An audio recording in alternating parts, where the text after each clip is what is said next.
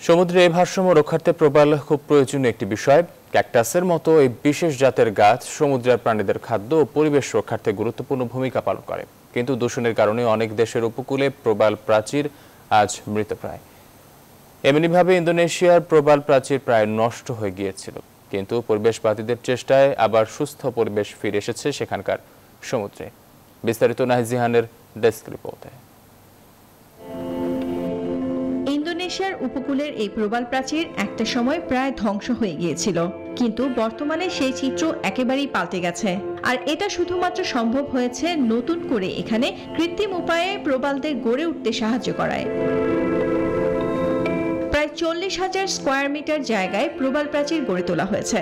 লোহার তৈরি এমন কাঠামোর কিছু অংশে প্রবাল গজানোর পর তা সমুদ্রের তলদেশে নামিয়ে দেওয়া হয়েছে।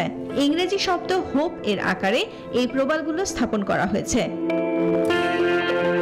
স্থানীয় একটি পরিবেশবাদী সংগঠন এবং ইন্দোনেশিয়ার প্রকৃতি সংগঠন ও পোষ্য ব্র্যান্ড সেবার উদ্যোগে এই প্রবাল প্রাচীর পুনরুদ্ধারের প্রকল্প বাস্তবায়ন করা হয়েছে।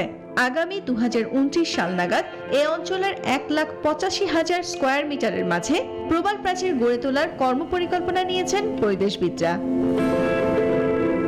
Nahid Sihan, news twenty